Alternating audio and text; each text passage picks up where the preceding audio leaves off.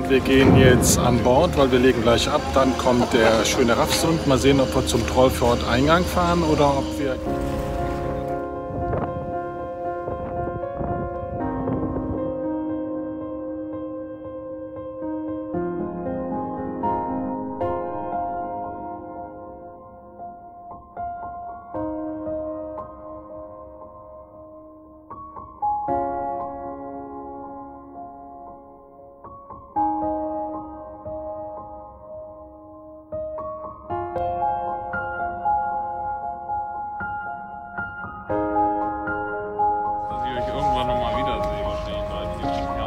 weiß nicht, wo diese Männer herkommen.